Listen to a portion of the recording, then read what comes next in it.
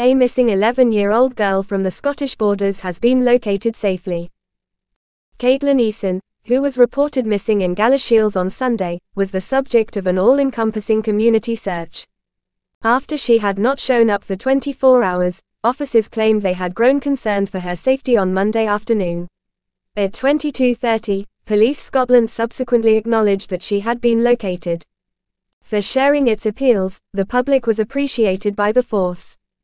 At around 1745 on Sunday, Kaitlyn was last seen at the Galashiels transport interchange close to the town centre.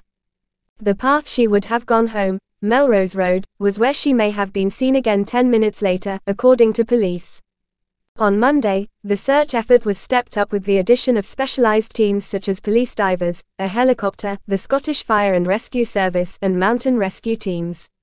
During the hours of darkness, the general people assisted with searches along the River Tweed's bank. The community's response, according to CH Sup Catriona Paton, was very encouraging.